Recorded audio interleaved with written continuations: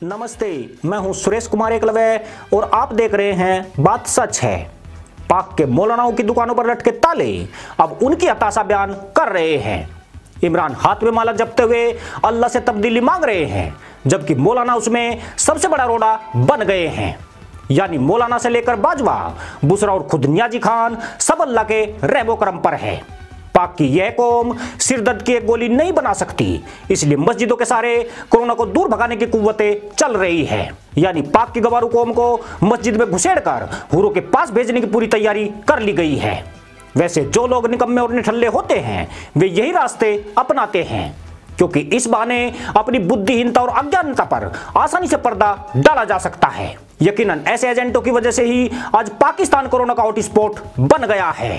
अब कोरोना पर इस मौलाना का बयान भी सुन लेते हैं। कोकब नूरानी नामक यह मुल्ला भी बाकी मुल्लाओं की तरह चर्चा में आ गया है। इसने कोरोना का संबंध इसराइल से जोड़कर मदरसा कौम से तालियाँ बटोरने में कामयाबी पाई है। मज़े की बात यह है कि पाक के गवारू तैमन छाप आमीन करते नहीं, थक रहे हैं। तो आइए सुनते हैं इस मौलाना का वह विश्लेषण, जिसमें इसने इसराइल के यहूदियों और पाक के टोपीबाजों के कनेक्शन का अद्भुत विश्लेषण किया है। मस्जिदों के खिलाफ जितना शोर था लॉकडाउन में, ये ऐसे ही नहीं था। उसके लिए बकायदा पैसे दिए गए थे। ये शोर मचाना है। बस मस्जिद, बाज़ार की बात नहीं करनी, मस्जिद बंद करनी है। क्योंकि कोरोना घुसेगा तो मस्जिद में घुसेगा, बाज़ार में नहीं घुसेगा। न वो असम्बली में घुसेगा, न वो कॉन्फ्रेंस में घुसेगा, न वो मीडिया के किसी बिल्डिंग में घुसेगा। वो घुसेगा तो सिर्फ़ मस्जिद में। मस्जिद नहीं जाने देना। लेकिन मुझे और आपको जागना है। हम जाग नहीं रहे, हम मस्त हैं। हमारे यहाँ बस ही लॉकडाउन खुले ताकि कमाई शुरू करें, हमें नहीं परवाह दुनिया में क्या हो रहा है।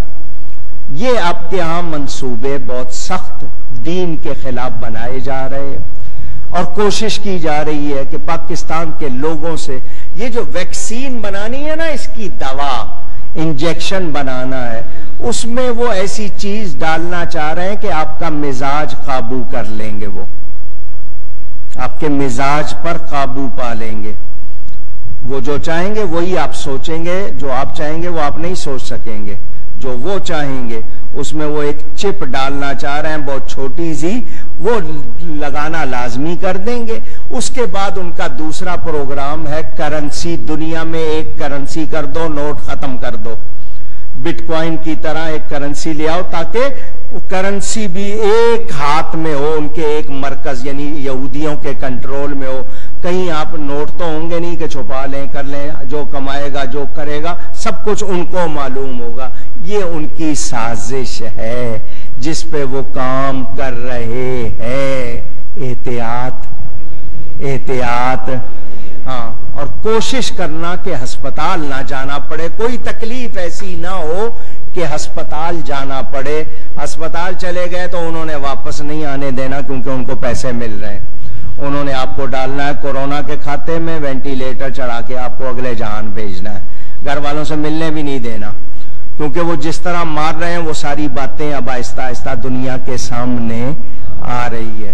तो अपना ख्याल रखें, एहतियात करें। अल्लाह ताला हम सबको इस वबा से बचाए। देखिए, इस बात में कोई दो राय नहीं है कि पेड़ पर चढ़ा बंदर और मदरसे से निकला फंटर केवल उत्पात मचा सकता है। पाकिस्तानी मदरसों के मुल्ला पहले भी यही करते रहे हैं और आज भी यही कर रहे हैं।